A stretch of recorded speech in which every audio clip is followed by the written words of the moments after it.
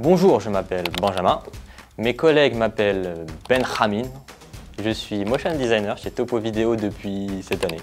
J'ai fait des études de motion design. Avant Topo Vidéo, j'ai travaillé chez Impulse en tant que graphiste, motion design et plein de trucs.